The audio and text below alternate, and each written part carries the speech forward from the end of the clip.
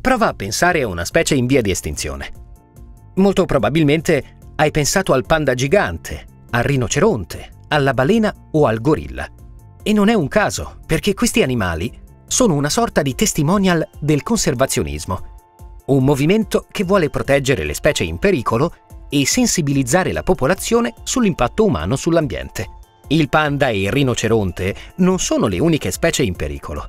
Questi animali sono però detti specie bandiera, perché sono protagonisti di campagne mediatiche che permettono di veicolare più facilmente il messaggio.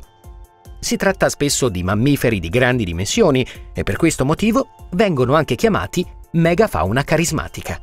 Tuttavia, sappiamo bene che gli ecosistemi sono costituiti da un intricato network di tantissime specie diverse, non solo animali, ma anche e soprattutto vegetali e microbiche. Per questo motivo le specie cosiddette ombrello hanno bisogno di un ampio habitat per vivere e grazie al loro peso permettono a cascata la tutela di moltissime altre specie.